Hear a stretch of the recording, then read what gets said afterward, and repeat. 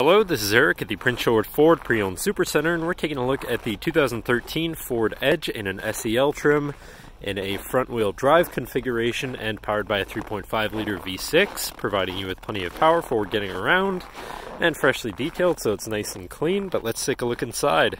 First looking into the back, we have a pretty spacious cargo area that can always be expanded by folding down the rear seats, and you have some power buttons to do it from back here with a 12 volt there. And underneath this cargo cover, you have your spare tire with some compartments around for extra storage. And looking into the back seat now, where you have seating for three comfortably with a nice full leather interior. In the middle, you have fold out armrests with two cup holders. And down in the middle here, you have a 12 volt power outlet. then looking at the front where you have power windows, power mirrors, and power locks, as well as a fully power adjustable driver's seat.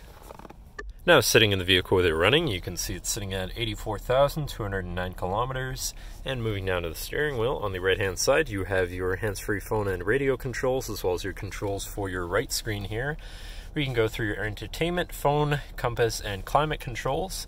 And then moving on to the left, here you have your cruise controls, um, as well as your controls for your left screen, where you can cycle through your RPMs, your trip 1 and 2 information, your fuel economy, settings for your screen and some other features around your vehicle, and then information such as warnings, that being low fuel currently. But then moving on to your center, your infotainment screen, which is radio, Sirius, CD, USB, Bluetooth, SD, and AV. So you have quite a few options there for whatever you want to listen to.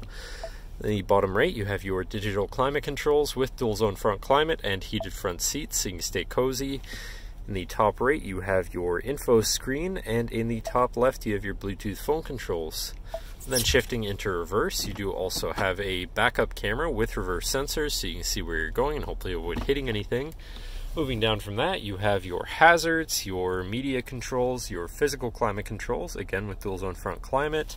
And then you have your main shifter here with select shift on the side so you can manually shift through your gears. Behind all this, you have a sort of cubby area here, and you have a 12 volt power outlet here in the passenger leg area. Then you have two cup holders and your center compartment slash armrest, which is pretty spacious with two USBs, 12 volt power outlet, SD card slot, and AV hookups for all of your audio and whatnot, as well as having a ton of room in here in general. And then last but not least, you have a panoramic moonroof up top so you can land in the sunshine, but that should cover our look at the interior. So now if you're interested, feel free to give us a call at 250-563-8111 or just come on down to the dealership and have a look for yourself and have a nice day.